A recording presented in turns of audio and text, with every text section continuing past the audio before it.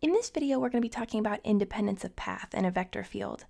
And in this particular problem, we've been asked to show that the line integral is independent of path, and then if it is, to evaluate the integral.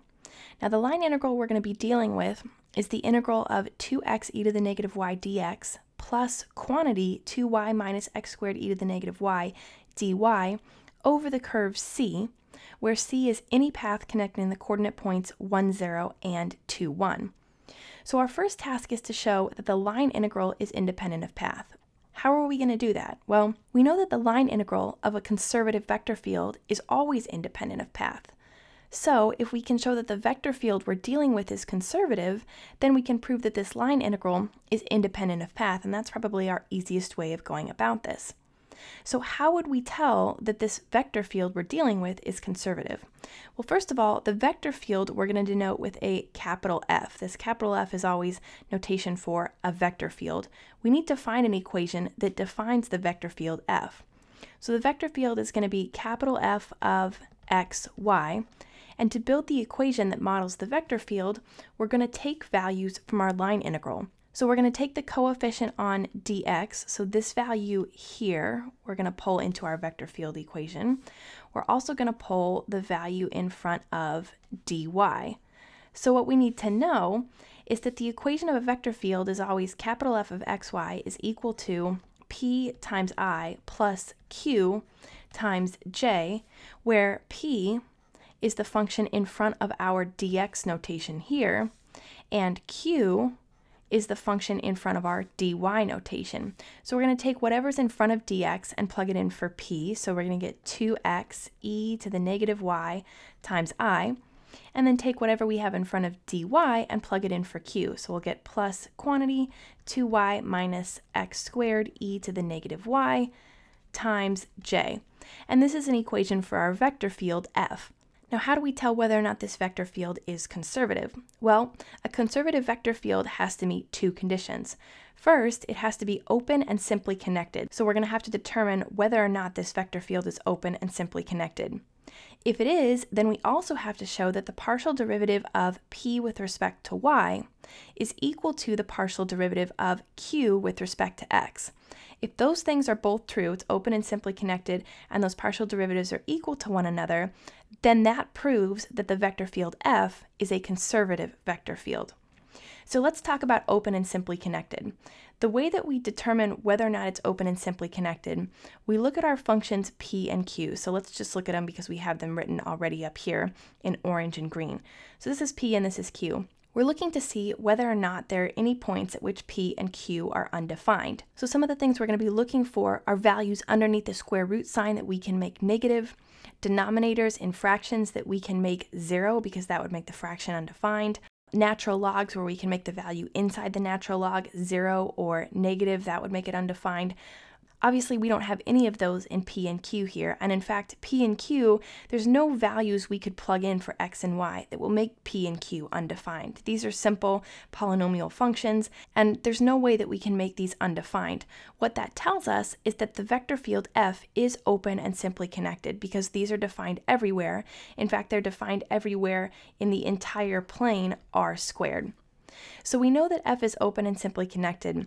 Now we just need to show that the partial derivative of p with respect to y is equal to the partial derivative of q with respect to x.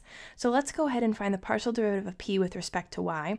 Again, we're taking what's inside of our orange box here. We also have it right here. The partial derivative of that with respect to y, that means we treat x as a constant. So 2x here is just a constant coefficient on this e to the negative y.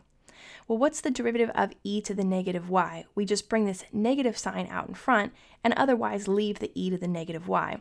So the partial derivative of p with respect to y is going to be negative 2x e to the negative y. Now what we're hoping for is that that's going to be equal to the partial derivative of q with respect to x.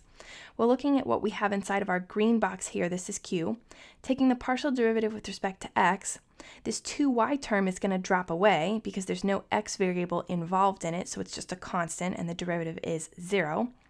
The derivative of negative x squared e to the negative y, we're treating y as a constant, so this e to the negative y is a constant coefficient in front of the x squared term.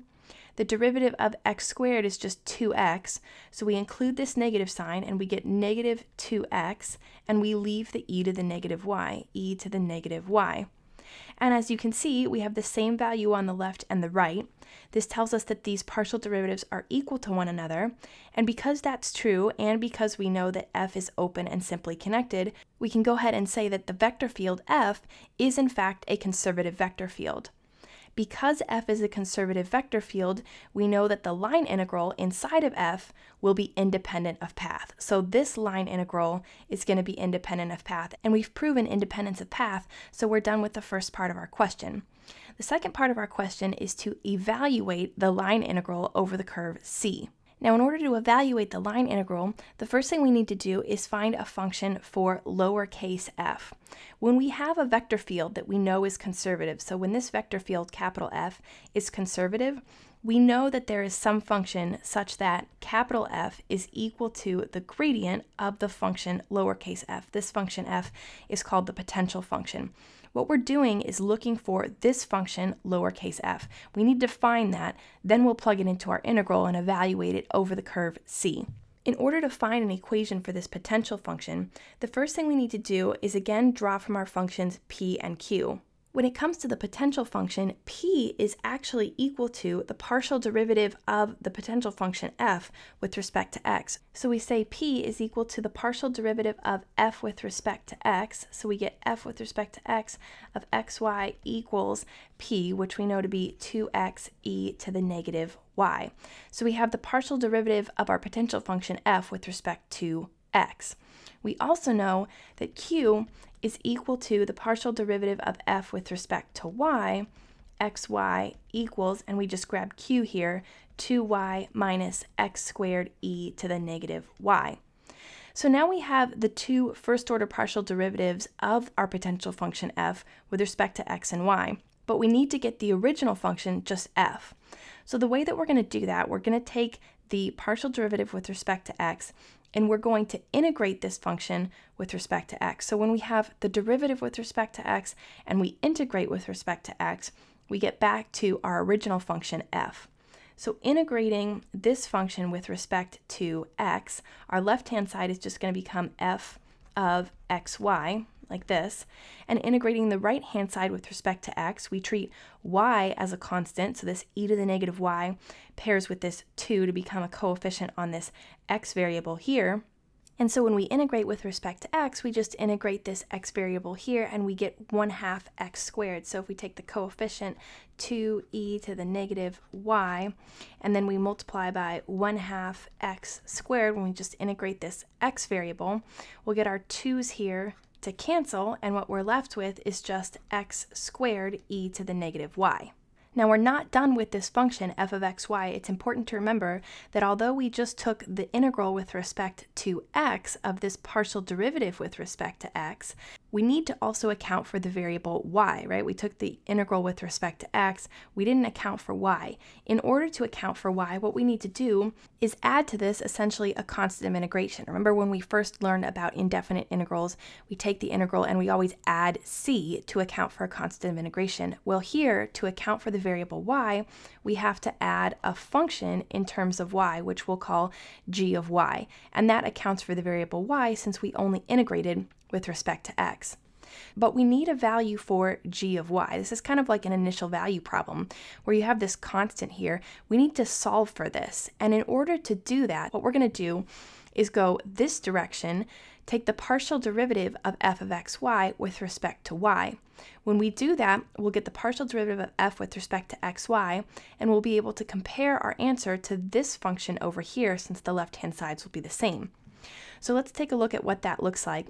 Taking the partial derivative of this with respect to y, we'll get f sub y of xy is equal to we treat x as a constant, so this x squared is just a coefficient.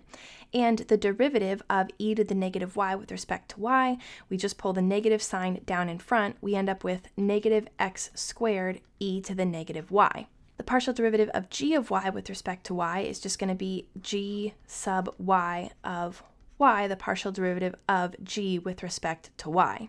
Now here's why this method works. What we can identify is that we have this partial derivative of f with respect to y, which we got from our function q. We just found the same function. We can see that our left-hand sides are equal. What that tells us is that we can compare the right-hand sides and use that to solve for this value g sub y of y.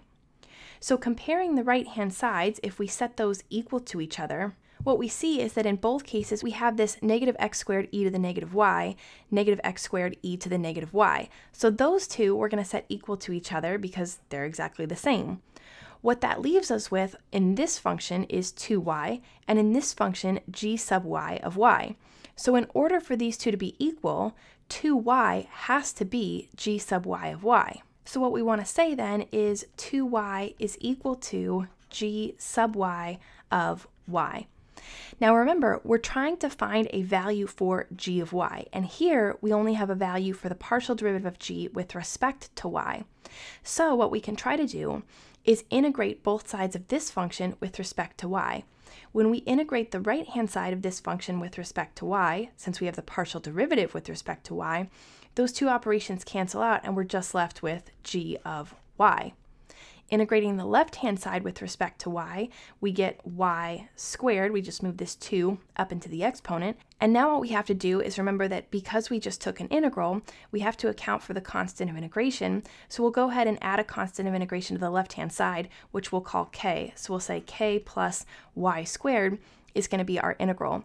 The reason we didn't have to add a function to account for the constant of integration is because this is a single variable equation here. We just have y's, we took the integral with respect to y, so we can add a constant k. We added g of y here because we took the integral with respect to x of a multivariable function, and so we still had to account for something in terms of y, so we added the function g of y. Here we have one variable, so we can just add a straight constant, k. So now we have this value for g of y, which is y squared plus k, and we can go ahead and plug that back in for g of y.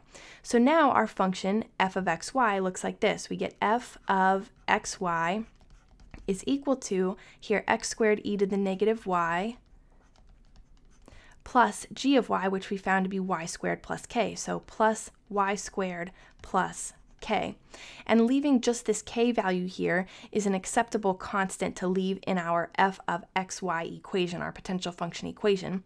So this is our function f that we were looking for. Now the question is, how exactly do we use this to evaluate the line integral? Well, we know that our equation f, f of xy, the equation for the vector field, is equal to this value here, which is the value that we have inside of our line integral. So basically, this line integral says the line integral of f over the curve c. Well, since we know that f, capital F, is equal to the gradient of our function lowercase f, we can just substitute in this gradient of f for capital F, and we can instead call the line integral the integral of the gradient of f over the curve c. This function we found is actually the gradient of f, so we can go ahead and plug that in for gradient of f, and we get the line integral over c of x squared e to the negative y plus y squared plus k.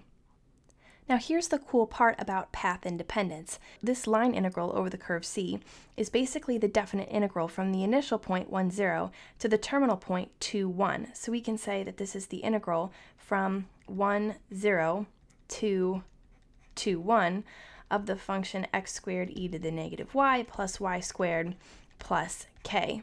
But because we know that the line integral is independent of path, because it doesn't matter which path we take from 1, 0 to 2, 1, the line integral will always have the same value, we don't really have to integrate this. All we have to do is plug in our terminal point and subtract whatever we get when we plug in our initial point, and that's just straight fundamental theorem of calculus. So all we do is take this value here, we want to plug in our upper limit of integration to 1.